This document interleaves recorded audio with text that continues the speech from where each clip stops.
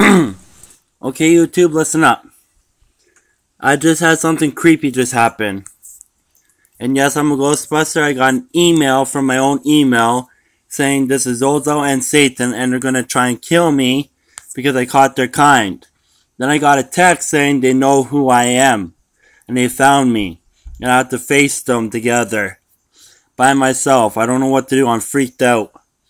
If anyone knows how to stop these demons and stuff besides me, like professionals, let me know. Even though I am a professional Ghostbuster, I don't know what to freaking do right now.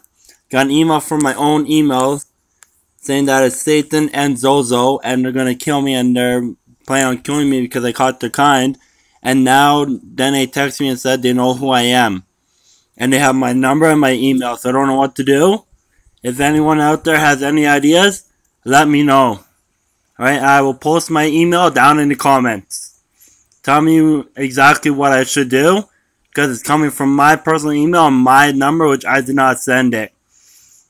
And as a Ghostbuster, I'm very creeped out right now. So if you have any comments on what it might be and why they're contacting me, leave in the comments below and I'll leave my email in the comments below for you to email me, my personal email. Alright, thanks.